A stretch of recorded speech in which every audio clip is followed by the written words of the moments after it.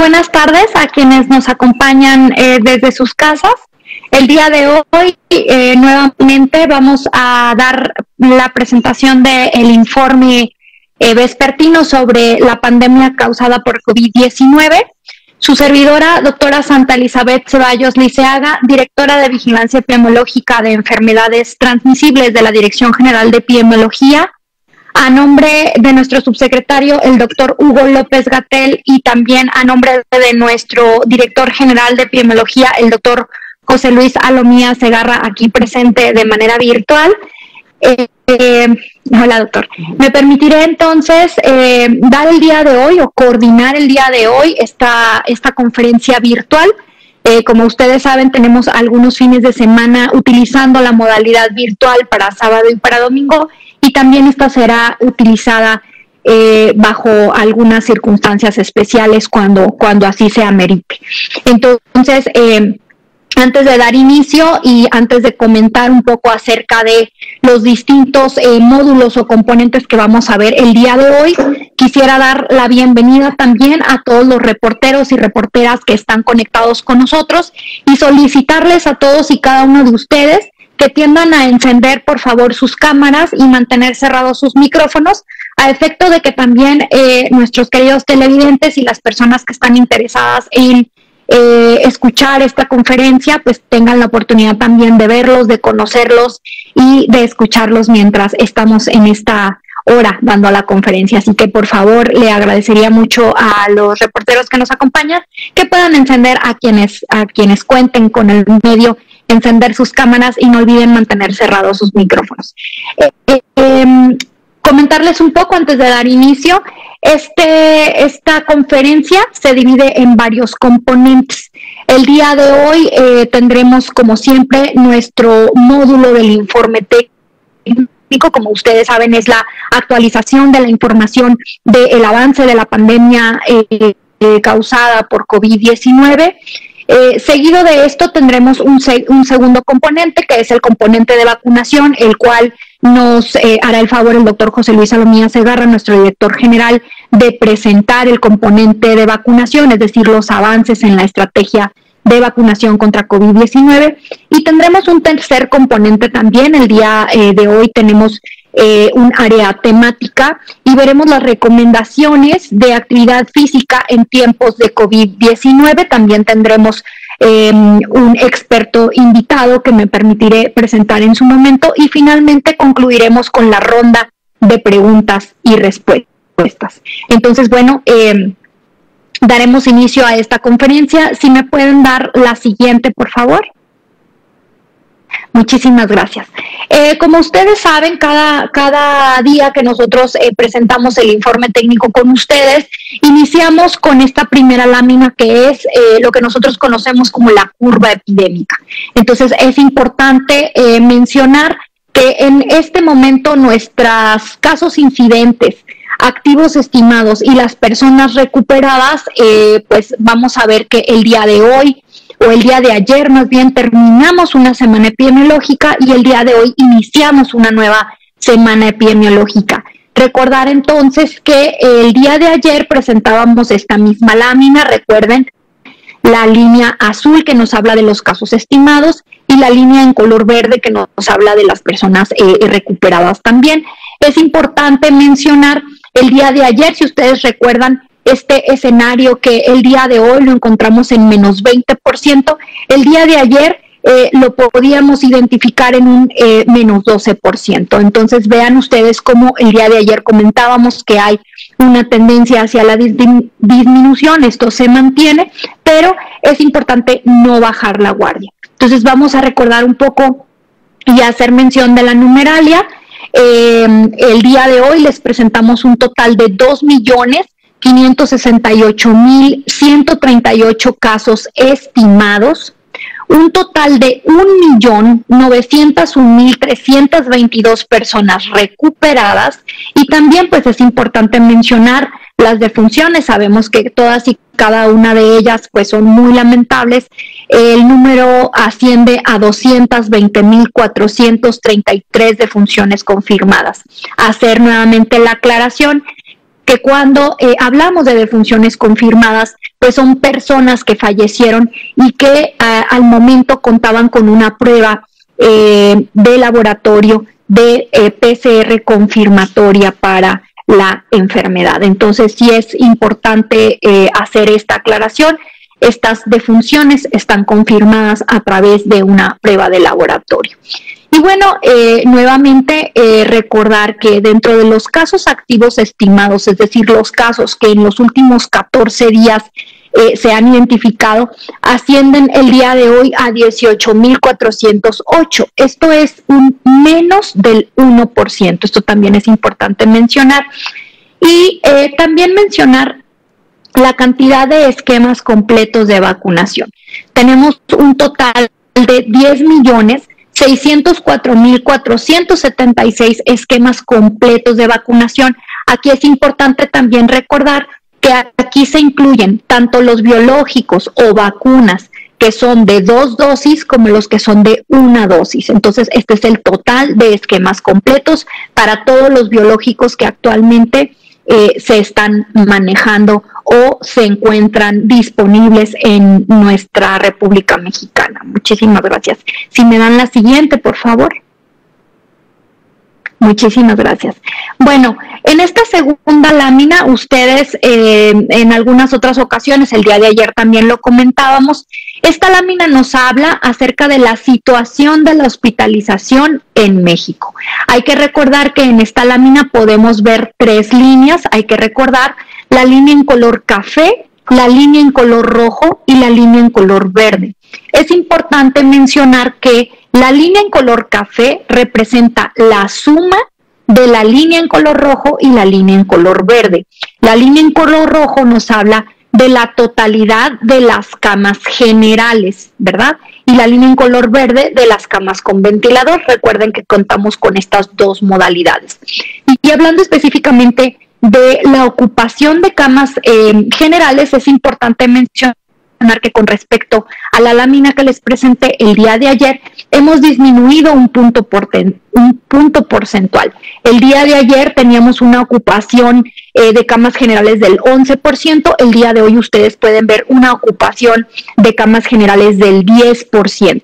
Hablando específicamente de la ocupación de camas con ventilador, pues nos quedamos con un 14% de ocupación. Aquí no hay cambio. Y hay que recordar que eh, estamos en un menos 85%, es la reducción de ocupación nacional. Eh, de cuando tuvimos el, pico máximo, que aquí lo podemos ver marcado con una flecha en color rojo, al día de hoy, nuevamente estamos ante un descenso, digamos que estamos viendo un panorama favorable, sin embargo, para todos los medios de comunicación que se encuentran hoy eh, conectados con nosotros, hacer nuevamente el recordatorio de que la epidemia y la pandemia no han terminado, que aún nos encontramos eh, cursando esta pandemia contra COVID-19 y que debemos de exhortar a toda la población, a todos los televidentes, por favor, el exhorto es mantener la sana distancia, mantener el resguardo domiciliario eh, toda vez que sea posible, mantener las medidas preventivas como el uso de cubrebocas, el adecuado lavado de manos. Si no puedo eh, lavar mis manos con agua y jabón, pues el tener, recuerden, eh, acceso a alcohol gel con un mínimo em, de 60% de concentración de alcohol para garantizar que pues este me va a estar ayudando. Recordar no saludar de mano, no saludar de beso y utilizar el estornudo o tos de etiqueta con la cara interna del antebrazo. Y también pues recordar mantener nuestros espacios ventilados e iluminados. Estas son medidas generales que apoyarán en el control y limitación de la pandemia. Bueno, pues eh, básicamente esta es la parte del componente técnico. Si nos pasan la siguiente, por favor.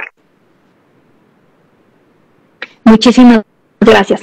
Eh, vamos a dar inicio entonces al componente de vacunación, este componente técnico también muy importante que nos será presentado el día de hoy por nuestro director general de epidemiología, el doctor José Luis Salomía Segarra. Adelante, doctor, le cedemos la palabra. Muchas gracias. Muchas gracias, estimada doctora Santa Ceballos. Gracias por estarnos acompañando nuevamente, un fin de semana eh, más, por estar coordinando esta conferencia.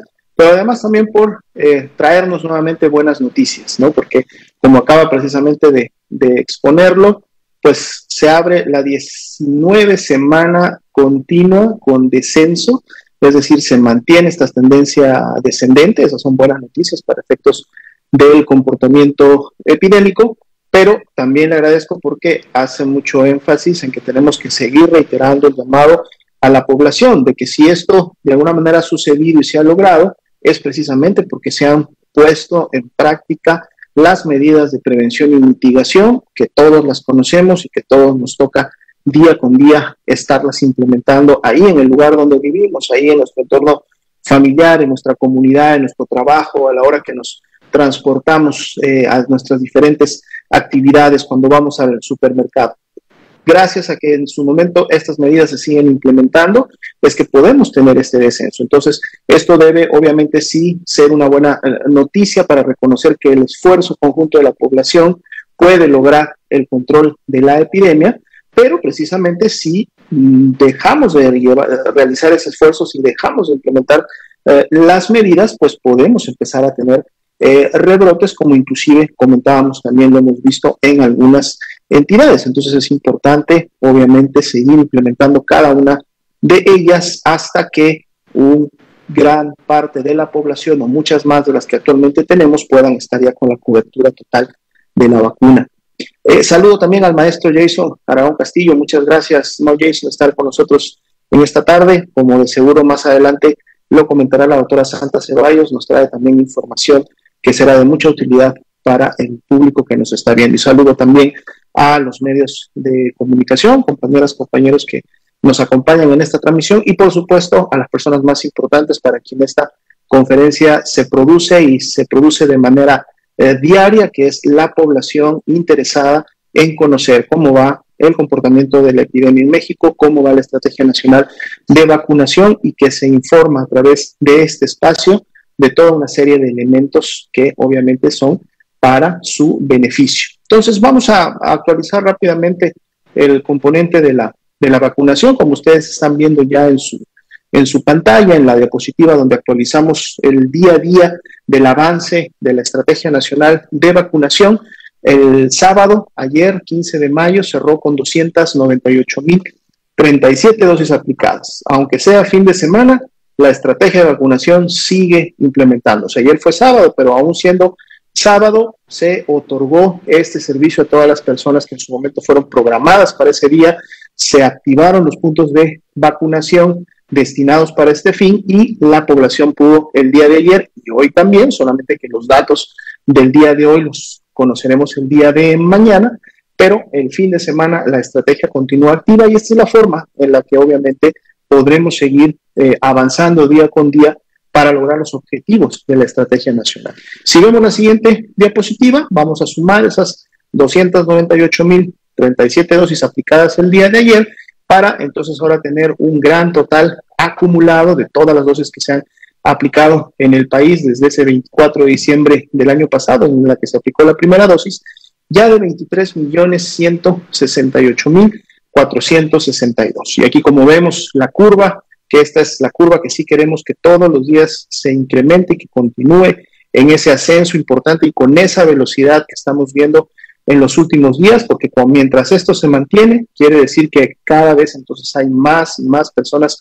vacunadas y que la estrategia nacional sigue a pasos firmes avanzando eh, a lograr el objetivo principal, que es evitar la eh, COVID eh, grave, la COVID crítica, es decir, aquella COVID-19 que va a producir complicaciones en las personas y que por lo tanto al evitar que la persona enferme gravemente, pues vamos a evitar también que la persona fallezca. Y ese es el principal objetivo de la vacunación en estos momentos. Si vemos la siguiente diapositiva, vamos a ver ahora y actualizar también en función de las dosis aplicadas el día de ayer, la cantidad ahora de personas que ya recibieron al menos una dosis y muchas de ellas también su segunda dosis. 15 millones 454 mil 195 son las personas que hasta el momento han recibido ya al menos una dosis y pueden ustedes también ver actualizados los cuatro grupos poblacionales que en este momento se están vacunando. Hacemos énfasis, lógicamente, en el grupo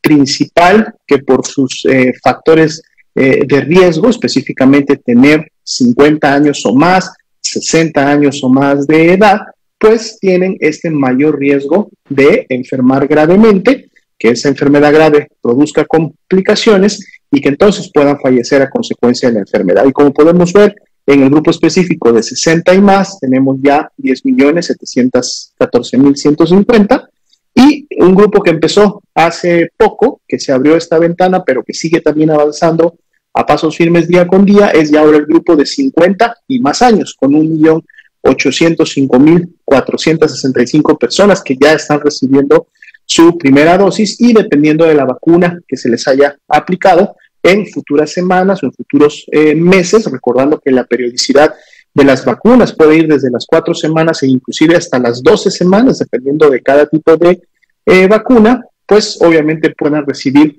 la segunda. En este espacio hacemos el hincapié, recordamos a las personas, aquellas que están accediendo a las vacunas que son de dos dosis, recordemos que si bien es cierto, la primera dosis inicia ya una respuesta inmunológica que a su vez empieza a generar una eficacia y por lo tanto una protección, debemos de mantener las medidas de prevención, las medidas de prevención personal, porque al no haber logrado todavía la eficacia que se da con la segunda dosis, pues obviamente todavía podemos enfermar de la COVID-19. Entonces, hasta que no recibamos el esquema completo, que son las dos dosis, y una vez hayan transitado dos semanas después de la segunda eh, dosis, es cuando recién podremos considerar que estamos ya protegidos, que en su momento la vacuna está generándonos la eficacia que cada una de ellas ha demostrado en los diferentes tipos de ensayos y entonces es recién cuando podemos en su momento pensar que si me contagio de la COVID,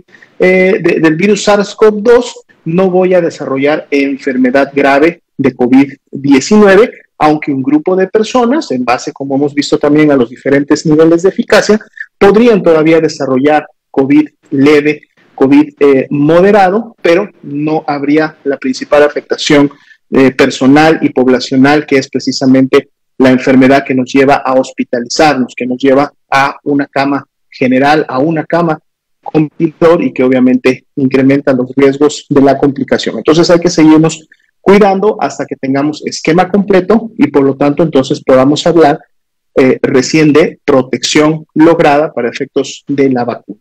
Si vemos en la siguiente diapositiva, eh, mantenemos obviamente las dosis de vacunas eh, recibidas. El día de hoy, domingo, no arribó ninguna dosis al país. El día de mañana se estarán presentando ya el calendario de la próxima semana para tener la expectativa de cuántas dosis y de qué tipos de vacuna estaremos recibiendo en los siguientes días. Por lo pronto, entonces, nos quedamos con el dato de 29 millones 63.275 dosis arribadas al país también desde el pasado diciembre 2020 y distribuidas, ustedes tienen ahí los números en la pantalla actualizados de los cinco tipos de vacuna que en este momento se están eh, manejando en México. Y finalmente, en la última diapositiva, si usted tiene dudas, usted quiere hacer alguna pregunta en relación a la vacuna que ya le pusieron de su primera dosis, quiere a lo mejor conocer cuánto es el espacio que debe de tiempo que debe de esperar o que debe de transcurrir para que le sea aplicada la segunda eh, dosis, puede hacer una llamada al 55 36 84 0370 o visitar la página de vacunacovid.gov.mx. Ahí va usted a encontrar toda la información al día, es información que se está actualizando, los diferentes lineamientos, las diferentes guías, los diferentes estudios que en su momento van saliendo. Cuando hay cambios, cuando hay modificaciones y actualizaciones, estas se actualizan también en la página. Así que si usted desea tener información veraz, información directa en la cual puede confiar y salir inclusive de dudas de información que puede estar circulando en redes sociales y que no es de fuentes oficiales o porque algún amigo le comentó, algún familiar le comentó o le compartió un eh, mensaje de texto o le mandó un link, una red social y usted no está seguro si eso que está leyendo es realmente información oficial y es lo que está sucediendo, no se preocupe, aquí tiene vacunacovid.gov.mx o tiene este teléfono, no duden en llamar usted recibirá la información adecuada, basada en evidencia científica y la más actualizada para que no se quede con las dudas en relación a la vacuna. Entonces, bueno, esta sería la actualización de este componente. Le regreso el uso de la voz a la doctora Santa Ceballos para continuar con la programación de hoy. Muchas gracias, doctor. Eh, muy importante todo lo que nos comenta, sobre todo el avance en la vacunación, que como usted bien lo dice, pues son es la curva que queremos eh, ver que aumente, ¿no? Y eh, pues bueno, pasando a este tercer componente, recordábamos que el día de hoy tenemos un componente, eh, digamos, temático muy importante que son las recomendaciones de actividad física en tiempos de COVID y para ello nos acompaña el maestro Jason Aragón Castillo. El maestro Jason, él es presidente de la Red Mexicana de las Universidades Promotoras de la Salud. Bienvenido, maestro Jason. Le cedemos la palabra, por favor, para que pueda apoyarnos con su tema. Adelante, lo escuchamos. Buenas noches, doctora. Buenas tardes a todas las personas que están conectadas. Mucho gusto y muchas gracias por esta invitación. Es un privilegio poder compartir con ustedes algo que me apasiona mucho, que es la actividad física, el deporte y el ejercicio.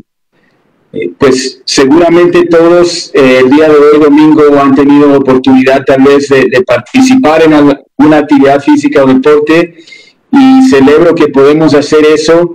La pregunta es cuántos de, usted, de ustedes y nosotros vamos a poder seguir durante la semana, ¿verdad? Con ese hábito, porque en el último año lo que hemos aprendido es en realidad la potencia que tiene el movimiento. Eh, el ejercicio ha sido comprobado por un consenso de expertos, médicos, investigadores, que en realidad es una medicina, una píldora muy potente. Es decir, eh, sabemos que el ejercicio no solo nos ayuda a contrarrestar o prevenir más de 40 condiciones crónicas y enfermedades crónicas degenerativas, pero también nos ayuda a tener mayor calidad de vida y mayores años de vida. Hay un estudio reciente que demostró que por cada hora de actividad física que hacemos, eh, podemos aumentar de 3 hasta 11 horas de vida. Entonces, literalmente lo que estamos haciendo es agregando años de vida y calidad en esos años si nos movemos diariamente.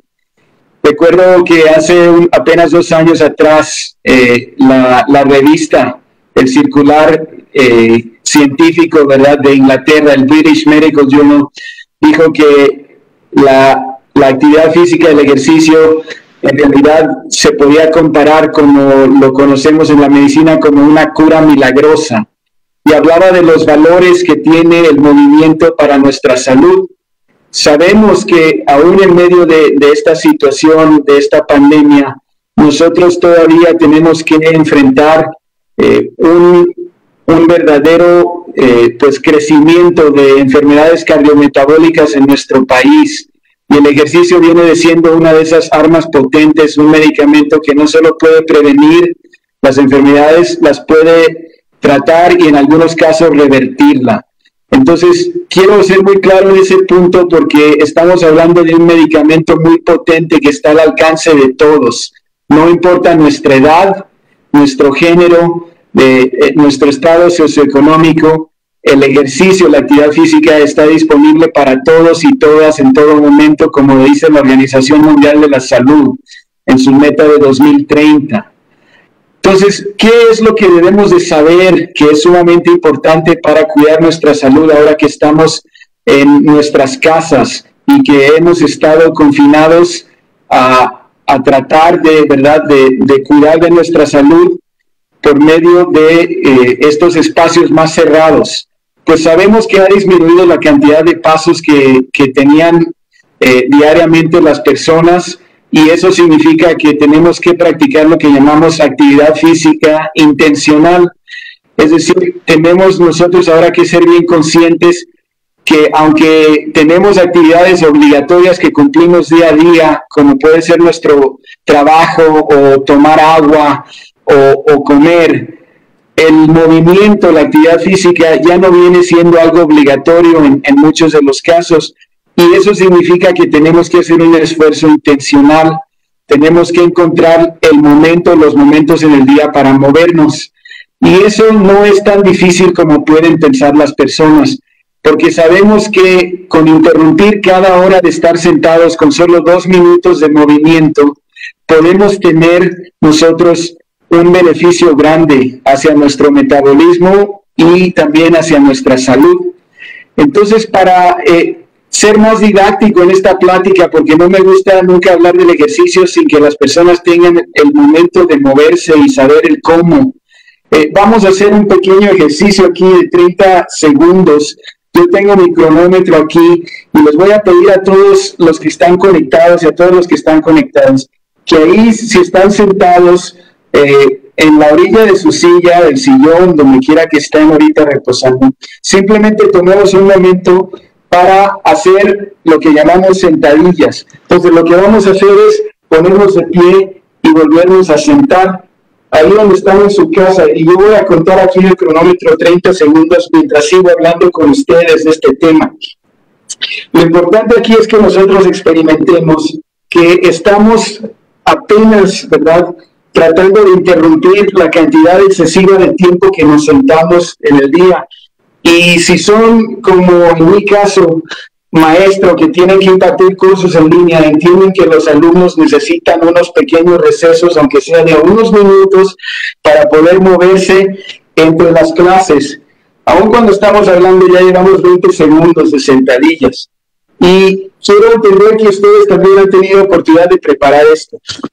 Cuando ustedes preparan este ejercicio para su día, eso significa que están siendo intencional, no lo están dejando, ¿verdad? Por si tienen tiempo extra al fin del día, que en muchos casos no lo vamos a tener. Pero es importante porque la sentadilla viene usando los grupos musculares más grandes del cuerpo que están debajo de la cadera. Y eso significa que más contracción muscular, nuestro metabolismo va a estar trabajando y ayudándonos para mantener nuestra salud. Entonces, ¿cómo podemos iniciar? Pues ustedes acaban de ver un ejemplo muy sencillo, pero fíjense, aquí tengo un garrafón, este garrafón es de 5 litros, cuando lo llenan con agua de 5 litros, pesa 5 kilos, y nosotros podemos usar algo tan sencillo como un garrafón de agua o los, los escolares pueden usar sus, sus mochilas que pueden llenar con sus libros y cargarlo para hacer un, eh, una carga extra o sobrecarga para poder realizar más contracción muscular.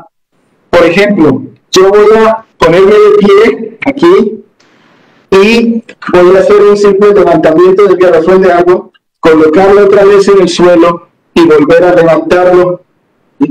Este movimiento, aunque parezca muy sencillo, si lo repetimos por un minuto, dos minutos, o si quieren asignarle un número y le llamamos repeticiones, podemos realizarlo eso y eso nos va a traer una habilidad de poder involucrar grupos musculares grandes, que es lo que queremos hacer, porque los músculos están involucrados en los procesos metabólicos importantísimos, específicamente la sensibilidad a la insulina. Y sabemos que en los pacientes prediabéticos o diabéticos es sumamente importante que tengamos contracción muscular. Eso nos, la, la resistencia a insulina nos puede llevar a otras condiciones muy severas, hipertensión, ciertos tipos de cáncer y enfermedades del corazón. Así que no perdamos nunca la importancia de activar los músculos ¿verdad? Entonces, ¿qué tipo de, equipo necesito en la casa? Pues yo les acabo de mostrar un garrafón, les mostré una mochila que podemos usar también en la casa. Pudiéramos algo tan sencillo como, por ejemplo, un palo de escoba, que si lo tomamos, ¿verdad?, sobre la cabeza, también podemos realizar sentadillas o incluso lo podemos usar como un apoyo para las personas que tienen más dificultad de ponerse en pie de una silla o no y estos vienen siendo herramientas que no nos cuestan dinero. No pensemos que necesitamos ser miembros de un gimnasio o dedicarle muchos recursos al movimiento. Es algo que podemos ser muy creativos y encontrar adentro de nuestra eh, cocina, nuestro cuarto, los artículos necesarios para movernos. Y eso es importante porque eso significa que es completamente inclusivo el movimiento. No queremos excluir a nadie o que se sientan excluidos porque no tienen los recursos para poder participar en un programa de ejercicio. El tiempo que nosotros dedicamos al, al movimiento debería de ser por lo menos 30 minutos diarios de actividad física. Y cuando hablamos de actividad física, estamos hablando de un sinnúmero de movimientos. Si vamos a practicar deporte o ejercicio, pues eso ya viene siendo lo que llamamos tiempo de ocio, que es el tiempo libre de nuestras responsabilidades. Y quiero animarles, en, en Internet ustedes pueden encontrar una cantidad muy grande de recursos por medio de videos o aplicaciones eh, o entrenadores virtuales como existen eh, en, en, las redes sociales donde ustedes pueden entrar y sin ningún pago seguir programas o, o, programaciones diferentes de movimiento donde pueden llevar lo que se llama una rutina o una dosificación de un ejercicio. Y eso los mantiene constantes y pueden trabajar hacia metas específicas. Entonces es sumamente importante que entendamos que tenemos una gran cantidad de información disponible como nunca antes para que nosotros podamos verla y poder participar de esos programas. Y es sumamente importante que también entendamos que hay eh, programas para los niños hasta los adultos mayores. Seguramente si nosotros hemos estado en casa por tiempo prolongado y la familia está junta, podemos encontrar diferentes juegos y actividades que podemos participar en grupo para poder hacer el tiempo de movimiento un tiempo familiar cada tarde o cada noche donde nos podemos mover en familia y poder participar y al mismo tiempo beneficiar nuestra salud. De la misma manera tenemos a muchos cuidadores de adultos mayores que también eh, pueden participar del movimiento con los adultos mayores en la casa y compartir este recurso valioso de movimiento. Para cerrar, quiero animarles y quiero ser bien específico que el movimiento es para todos y para todas. No deben excluir a nadie. Puede ser para las personas que tienen muy buena condición o para las personas que aún están restringidas a una cama o a una silla de ruedas y no pueden ponerse de pie. También se puede realizar el movimiento. Y siempre recordemos, ¿verdad?, que la actividad física, el, eh, el ejercicio, el deporte, viene siendo una de esas actividades que entre más hacemos, mejor nos vamos a sentir y eso es muy importante porque cuida de nuestra salud mental. El ejercicio, la actividad física ha sido comprobado que ayuda para reducir ansiedad, depresión, estrés y también nos ayuda para el autoestima. Entonces no olvidemos que ahorita tenemos una gran cantidad de nuestros jóvenes en el trabajo que, que a mí me toca realizar en la universidad es algo importantísimo, vigilar por la salud mental y seguramente también en, en, sus hogares ustedes han experimentado algo similar en el último año. Entendamos que el ejercicio viene siendo el antidepresivo más barato y más eficaz que existe en el mercado. Así que les animo, los animo a todos y a todas que tomen los momentos, aunque sea unos minutos cada hora para moverse, para poder sentirnos mejor y tener mejor bienestar y salud. Muchas gracias. Muchas gracias, estimado eh, maestro Aragón Castillo.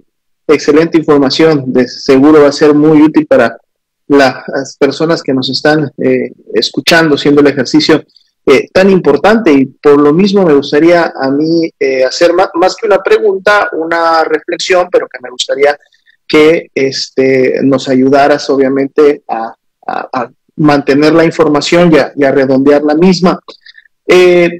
Como bien lo comentabas en la, en la exposición, eh, la falta de ejercicio obviamente lleva a la generación de muchas enfermedades, pero entre ellas las principales estas enfermedades crónico-degenerativas de las que tanto hemos hablado y hemos dicho que es un, un, problema no solamente para la población mexicana, pero obviamente para la población mexicana, que es donde tenemos altas prevalencias de estas enfermedades, pero obviamente también esto sucede en muchos otros países del mundo.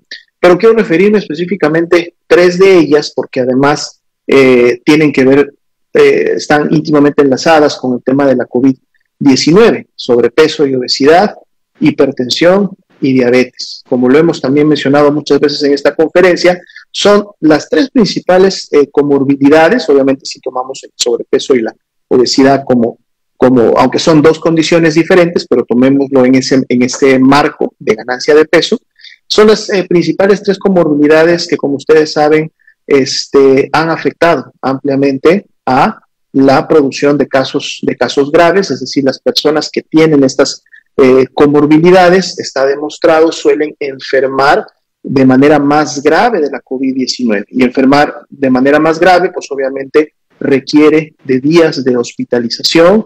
Muchos de estos días necesitan ser en unidades de cuidados intensivos con ventiladores mecánicos eh, que asisten a la, respiración y que obviamente también incrementan el riesgo este, de fallecer. Y es interesante porque la ausencia del ejercicio, es decir, no realizar el ejercicio tal y como lo, comentas, al menos estos 30 minutos diarios de ejercicio que todos deberíamos de, hacer, pues entonces e, es, es, un factor de riesgo que contribuye directamente a la generación de estas tres enfermedades. Pero qué interesante que también a la vez se constituyen en una forma como podemos controlar estas enfermedades, porque entonces retomar o empezar a realizar el ejercicio me va a ayudar también junto con, obviamente, la valoración médica, eh, los medicamentos que en su momento pudieran ser necesarios tanto para una diabetes o una hipertensión, pero el ejercicio es una parte fundamental que me va a ayudar también a controlar estas enfermedades. Y más allá que a lo mejor yo pueda ser diabético, puedo ser un diabético controlado. Y cuando soy un diabético controlado, el riesgo de enfermar gravemente de COVID disminuye. Puedo ser hipertenso, pero puedo tener mi hipertensión controlada y el ejercicio ayuda a este control. Y si la tengo controlada, nuevamente disminuye mi riesgo de enfermar gravemente de COVID-19. Y pues obviamente el ejercicio diario, sobre todo el ejercicio aeróbico, sabemos que va a contribuir a controlar los niveles de sobrepeso y obesidad que tenemos, que nos afectan para COVID, pero que nos generan también toda una serie de complicaciones en el organismo y de otras enfermedades que pues no están obviamente contribuyendo a generar salud en la población. ¿Qué eh, ejercicios, digo, en, función de lo que has eh, comentado, pero en este contexto también de la COVID-19, pudieras tú este, recomendar o decirle a la población, sobre todo, que pueden llevar a cabo para efecto de contribuir al control o en este caso a mitigar estas tres enfermedades que estamos mencionando? Gracias, doctor. Eh, definitivamente lo, que usted menciona es sumamente importante considerar, ¿verdad? Que la, que la actividad física, el movimiento, el ejercicio tienen ese efecto tan potente para poder eh, atacar a esas tres enfermedades de una forma eh, potente, es decir, lo que funciona para reducir la hipertensión, para ayudar a que el cuerpo sea más sensible a la insulina, para ayudar a que el músculo pueda captar eh, eh, esa glucosa en la sangre. También viene ayudándonos eh, en, la prevención, obviamente, de, estas condiciones cardiometabólicas que de tanto sufrimos en el país. Entonces, pensar casi como le llamamos en la farmacéutica una polipíldora que puede atender a varias condiciones con una pastilla. En este caso, la pastilla es el ejercicio. Yo le sugiero a las personas que tomen eh, los minutos diarios eh, como un mínimo. Es decir, si decimos 30 minutos de movimiento al día, piensen que ese es el mínimo. Pueden trabajar arriba de eso, por supuesto. Y especialmente, como decía anteriormente, vamos a mover los grupos musculares grandes Debajo de nuestra cadera tenemos los músculos más grandes del cuerpo, lo que significa de que cuando estamos sentados, doctor, esos músculos están adormecidos y ese es el problema que estamos experimentando. Tenemos unas tasas de sedentarismo alto porque, vamos a admitirlo, la mayoría de nuestros trabajos ahora no son de pie o de movimiento constante, lo que significa que tenemos que hacer un esfuerzo. La caminata es excelente, es excelente porque estamos realizando eh, esos usos esos músculos grandes para poder, pero tenemos que entender que ahorita tal vez algunas personas no están con la libertad de caminar tanto como lo hacían antes, entonces, ¿cómo trabajamos adentro de un cuarto, adentro de, nuestra habitación para poder? Las sentadillas, como decía, es un ejercicio excelente. También tenemos las famosas lagartijas abdominales, que simplemente es con nuestro peso corporal poder levantar nuestro eh, cuerpo de un ángulo, sea acostado boca arriba, boca abajo. Eh, en el caso de la sentadilla es estar eh, pues sentado y luego ponerse pie, pero no olvidemos también el tronco superior de la cadera hacia los hombros. ¿Cuántos de nosotros en realidad tenemos que realizar trabajo donde estamos levantando los brazos? Hay algo que le llamamos entre los fisioterapeutas como el síndrome del oficinista, que cansado el cuello, los hombros decaído, nuestra postura está decaída. Entonces, ¿qué podemos hacer? Estiramientos. Levantemos los brazos, flexionemos arriba, hagamos círculos con los brazos. Es decir, experimentemos el movimiento en lo que llamamos rango natural. Vamos a, mover las extremidades de nuestro cuerpo, estirar y poder hacerlo. Y no necesitamos mucho. a mí me gusta hablar de bocadillos de ejercicio dos minutos por cada hora de estar sentado, vamos a empezar a contrarrestar estas condiciones de acuerdo a las investigaciones médicas publicadas.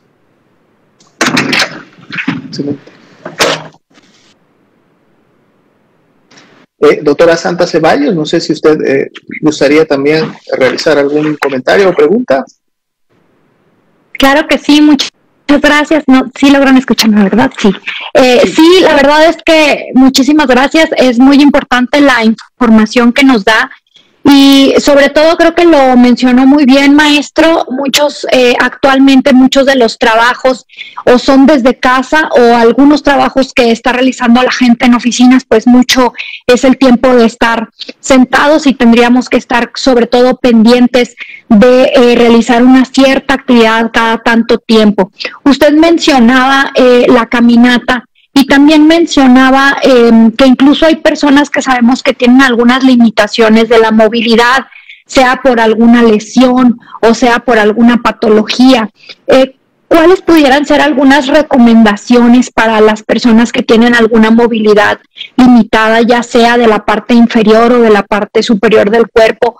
O eh, quizá tal vez algún lugar donde pudiera recomendarnos alguna dirección, alguna página, donde pudiera recomendarnos el identificar algún tipo de ejercicio acorde a las capacidades, a las posibilidades eh, físicas de cada uno de nosotros. Si nos pudiera orientar, maestro, sería excelente. Gracias, doctora. definitivamente eh, estamos muy conscientes, ¿verdad?, de que tenemos una gran cantidad, no solo en México, pero en el mundo, de personas con alguna discapacidad, lo cual no les permite realizar eh, el movimiento completo que muchas veces damos como una indicación general. En este caso, mencionar la caminata, puede ser que alguna persona no puede caminar. Entonces, ¿qué se puede hacer en esos casos? Pues definitivamente aquí es donde tenemos que aliarnos de los fisioterapeutas que tienen una labor que realizan que es, yo digo, bellísimo, ¿verdad? Porque ellos tienen el trabajo de restaurar o rehabilitar a las personas a que tengan más movimiento y más independencia de, de, su movimiento.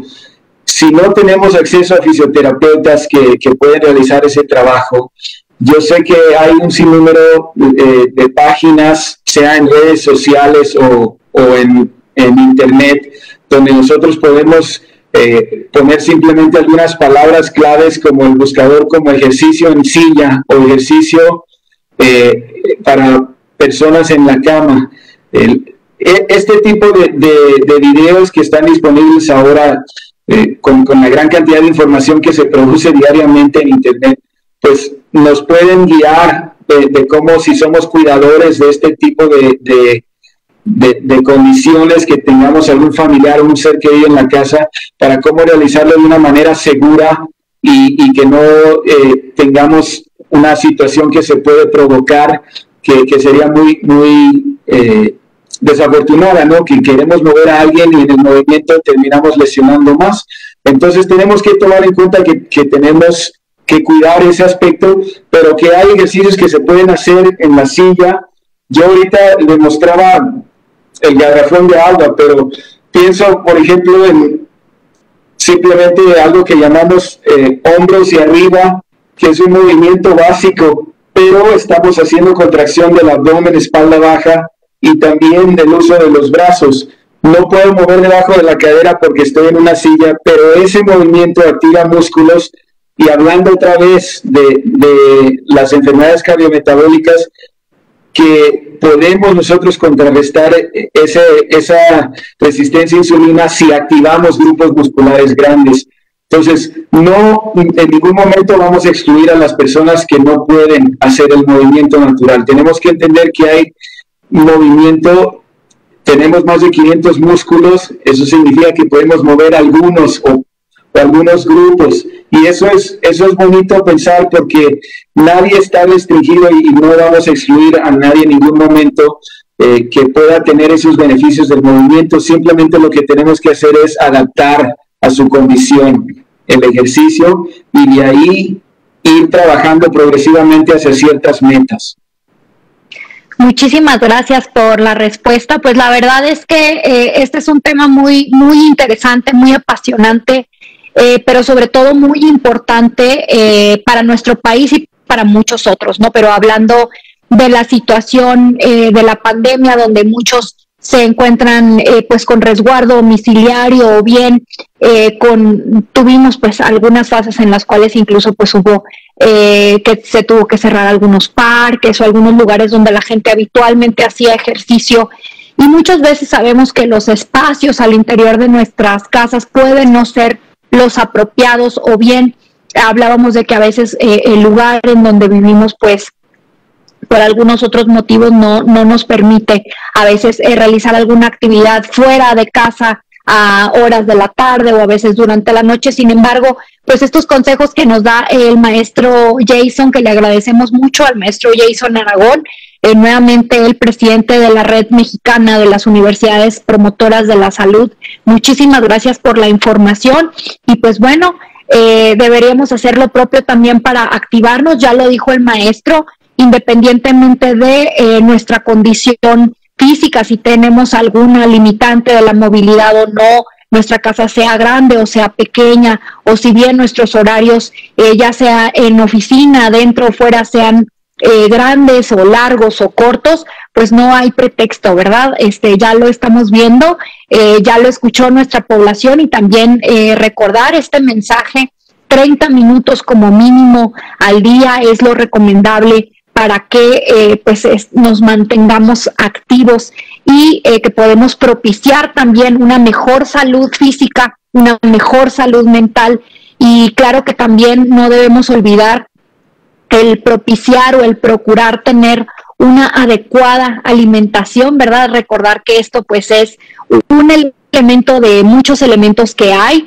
dentro de ellos pues es el consumo de agua natural, ¿verdad? El disminuir o el evitar las bebidas azucaradas, las bebidas gaseosas, y más si son bebidas azucaradas y gaseosas, el disminuir o el evitar, ¿verdad? La comida procesada, eh, la comida alta en carbohidratos, alta en grasas, alta en azúcares, los alimentos altamente procesados y obviamente propiciar más el consumo de eh, agua pura y eh, frutas y verduras, ¿no? Entonces, pues muchísimas gracias, maestro Jason, nuevamente y aprovecho el espacio para dar mi agradecimiento y mi reconocimiento y el de la Secretaría de Salud a todo ese personal de salud que apoya a todos, como usted lo comentó, fisioterapeutas, nutriólogos, también eh, licenciados en educación física, etcétera, es decir, todo el personal que actualmente pues es tan importante, además de, digamos, eh, quienes tradicionalmente estamos, que es el personal médico y de enfermería, pero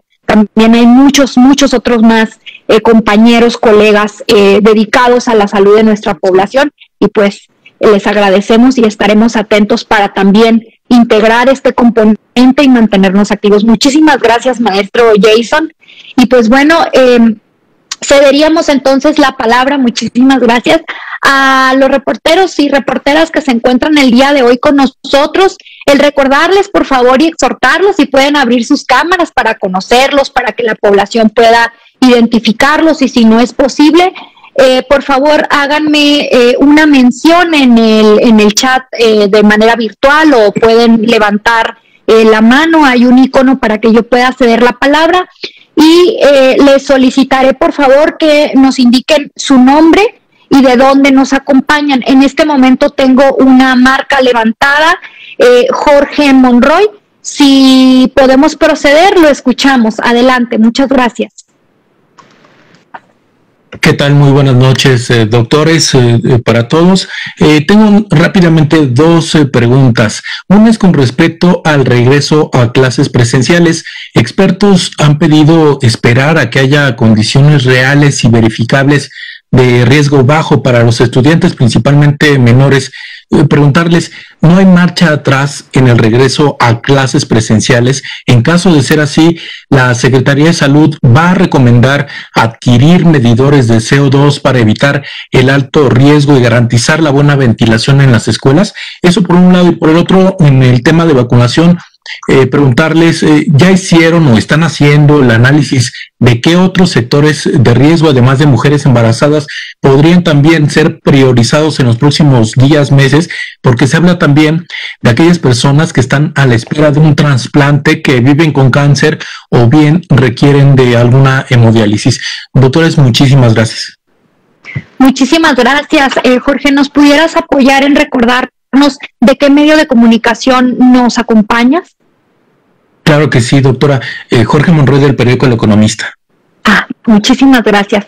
Eh, muy, muy importantes eh, ambas preguntas. Jorge, me permitiría ceder la palabra al doctor José Luis Para que nos hable un poco acerca de la estrategia de vacunación y los siguientes pasos, que era una de tus preguntas, y también el componente que también hablamos de la educación. Adelante, doctor, lo escuchamos. Muchas gracias. Eh, muchas gracias, estimada Santa, y también muchas gracias, eh, Jorge Monroy, el economista, por la pregunta. De seguro es una pregunta que puede estar en este momento, en este momento haciéndosela, pues todos los padres, todas las madres de, familia que están viendo que posiblemente en siguientes semanas, dependiendo de la entidad federativa en la cual ellos residan, pues pudieran sus, sus pequeños, a lo mejor igual ya no tan pequeños, sus adolescentes, sus sus adultos eh, jóvenes, si ya están en la universidad, pudieran estar retomando las clases eh, presenciales, tal como en estos momentos, por ejemplo, ya ha sucedido en el estado de Campeche, donde un poco más de 120 escuelas han reactivado esta actividad de manera, de manera presencial. Y es importante además comentarlo, les ha ido hasta el momento eh, muy, muy bien. entiendo que el marco obviamente puede ser de preocupación, de las personas, sobre todo los que tienen hijos en edad escolar, de si esto no va a generar obviamente un incremento en el riesgo o va a poner en riesgo a sus familiares o a sus seres queridos.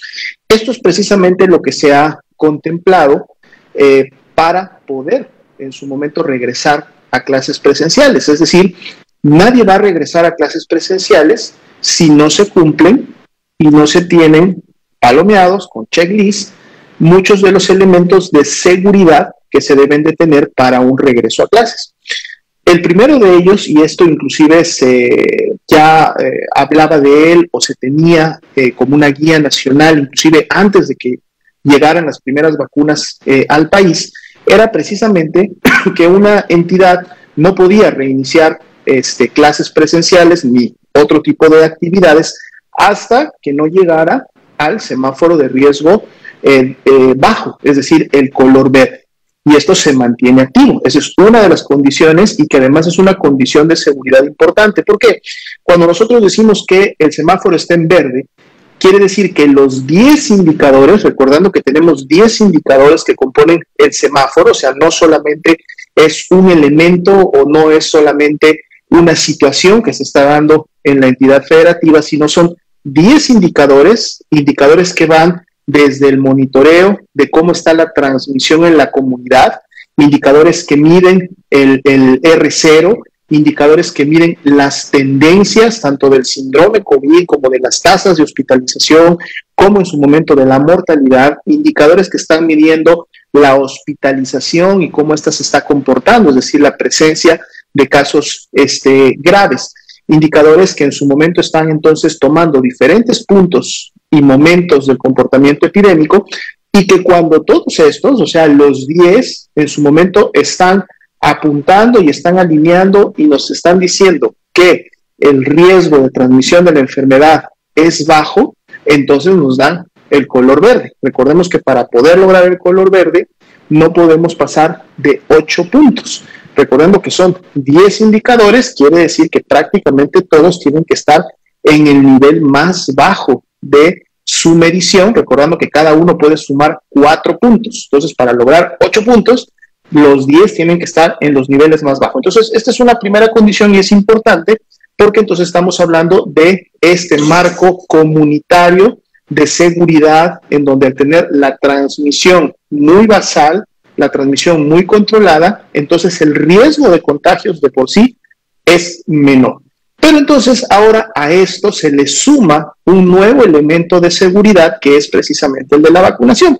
Y es la razón por la cual desde principios de año se inició con el estado de Campeche y en las últimas semanas, vamos ya prácticamente a cumplir el mes que inició esta estrategia focalizada a los trabajadores de la educación, viene entonces esta protección, esta protección extra que en su momento se está dando a todas estas personas que contribuyen en los diferentes niveles educativos para, pues entonces generar también, obviamente, todavía una disminución mayor del riesgo de que estas personas en su momento, si se contagiaran, sobre todo hablando de maestras, maestros que pudieran tener factores de riesgo como los que hemos mencionado, sobrepeso, obesidad, diabetes, hipertensión, alguna inmunosupresión, estar eh, embarazadas, tener 60 o más años de edad.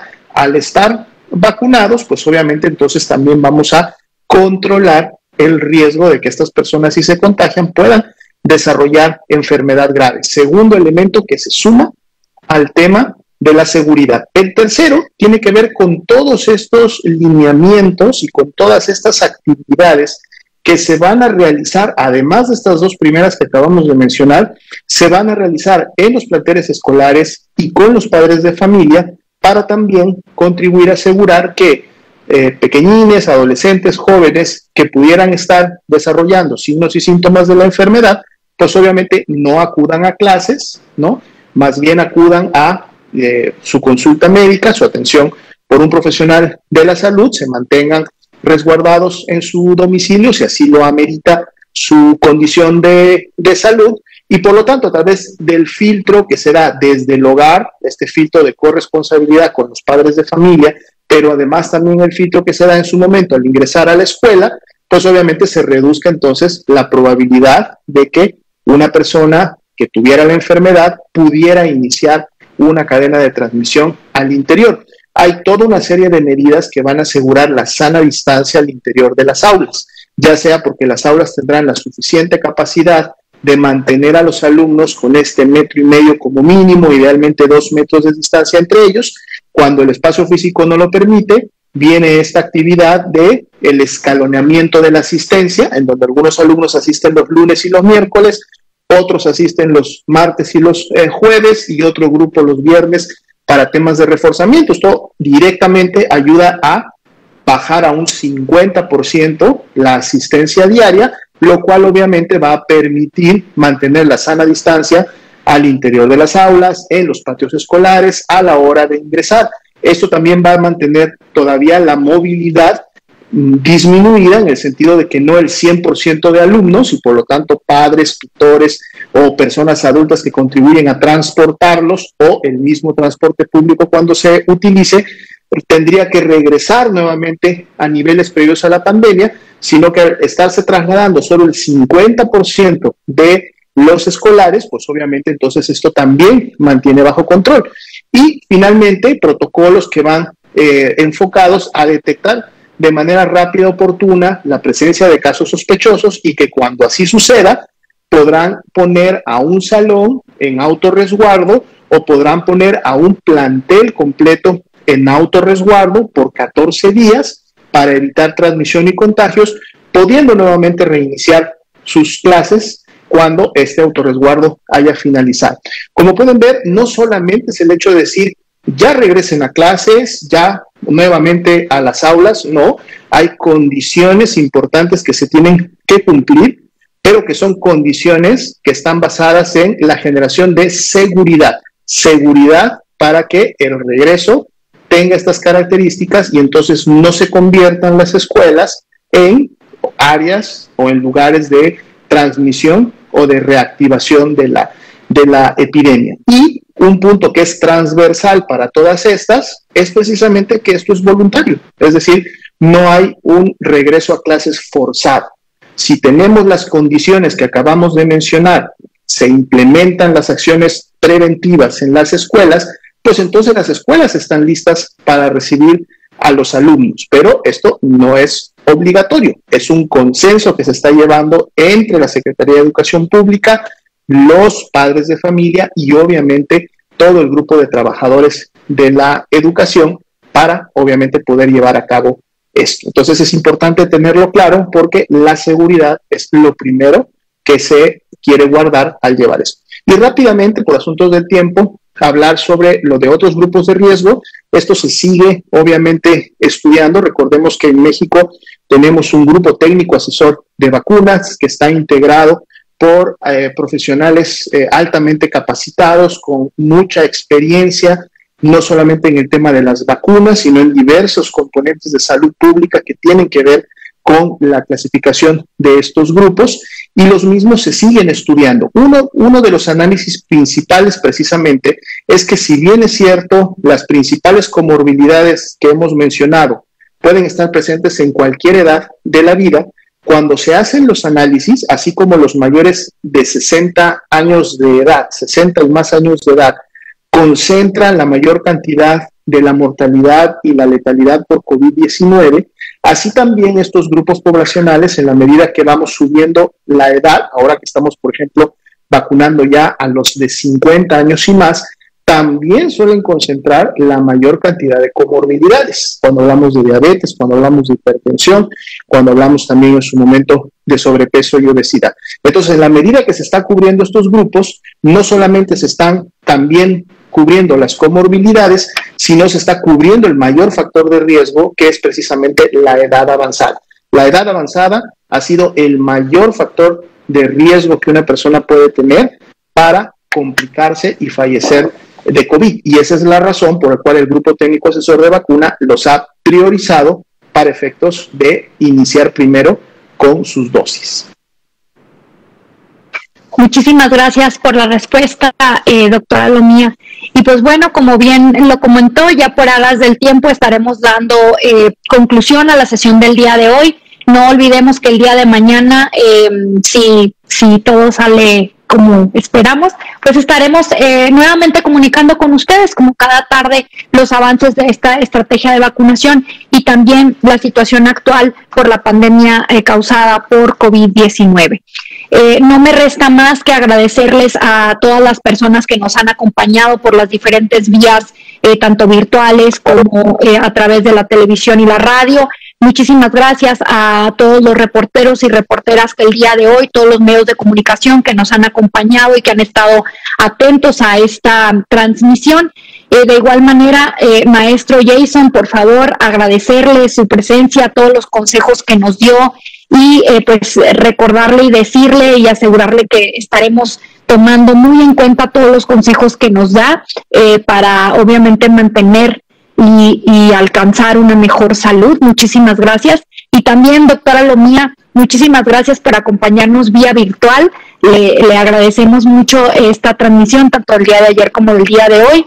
Y pues de parte de su servidora, les recuerdo, doctora Santa Ceballos, Santa Elizabeth Ceballos Diceaga, directora de Vigilancia Epidemiológica de Enfermedades Transmisibles. Les agradezco mucho. Recuerden eh, mantener la sana distancia, y quédense en casa. Nos vemos pronto, nos vemos mañana. Muchísimas gracias, un saludo a todos.